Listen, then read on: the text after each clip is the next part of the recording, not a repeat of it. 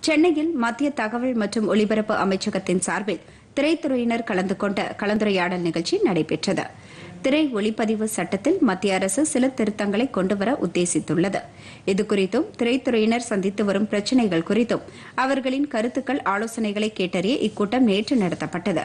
சென்னை நுங்கம்பாக்கம் நட்சத்திர ஓட்டலில் மத்திய தகவல் ஒலிபரப்புத்துறை கூடுதல் செயலாளர் நீரஜா சேகர் தலைமையில் நடைபெற்ற இந்த கூட்டத்தில் திரைத்துறையினர் ஏராளமானோர் கலந்து கொண்டு கருத்துக்களை பகிர்ந்து கொண்டனர்.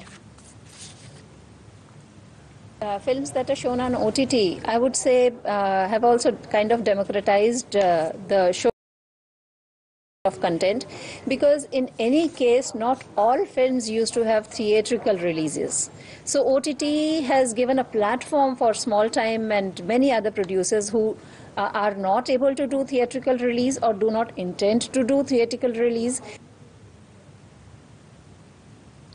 நிகழ்ச்சியில் பேசிய மத்திய திரைப்பட தணிக்கை வாரியத்தின் தலைவர் பிரசூன் ஜோஷி ஒளிப்பதிவு சட்டத்தில் மேற்கொள்ளப்பட்ட திருத்தங்கள் குறித்து எடுத்துரைத்தார் has specific problems. And Tamil Nadu being uh, it's, it's, it's, a, it's a, such a developed language. As you see, Tamil is a, such a developed language and it has own way uh, and, and narrative and storytelling, such a great tradition. So um, entertainment is not something which is new to Tamil Nadu.